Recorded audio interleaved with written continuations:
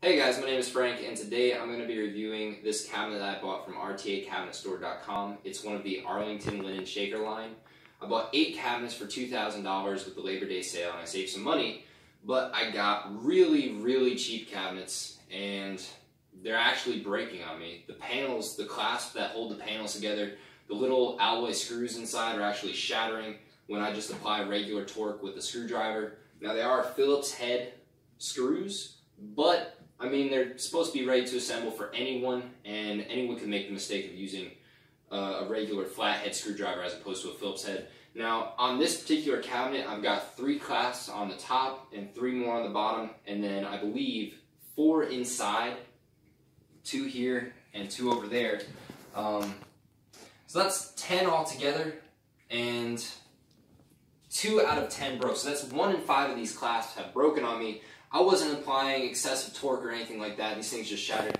Here, come in and take a close-up of this particular one because the fact that these things are breaking is rendering it impossible to put this cabinet together. Now, these are supposed to hold the panels together tightly like that, but because this thing shattered out completely with just a little bit of torsion from my, my screwdriver here, there's no way for me to connect this anymore and the cabinet is basically shot unless I want to take this off and put my own piece of wood in here and screw these two panels together which if they don't take my return is what I'm going to have to do.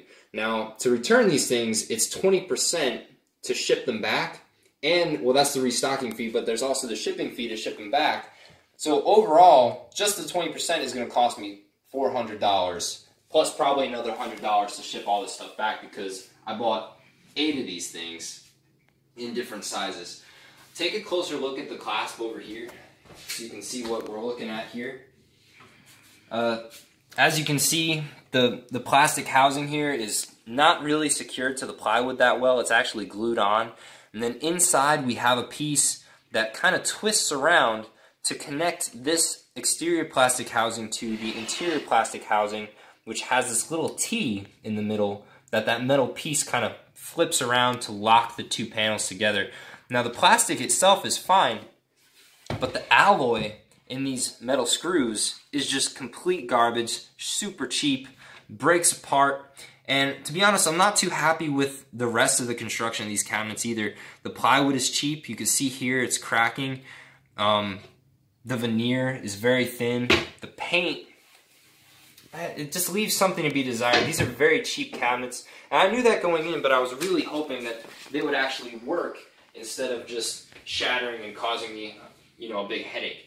So I'm not sure what's going to come of this. I'm going to try to get in touch with RTACabinetStore.com. I saw they have a lot of bad negative reviews, and I probably should have read those before getting into this, but bottom line, if they don't take it back, I'm going to have to make custom modifications to, to piece these cabinets back together or I'm looking at a loss of at least $400 to return these things, which is just terrible. So I do not recommend these. Uh, now they are wholesalers, so they get different products from all over the place. These particular cabinets come from a company called GHI uh, Custom Cabinetry, and the product is made in China, which probably explains why the alloy in those screws is super cheap, as cheap as they could get just to save on costs. But this might not all be on RTA Cabinet Store, but they certainly should have reviewed these products before putting them out to customers to buy online.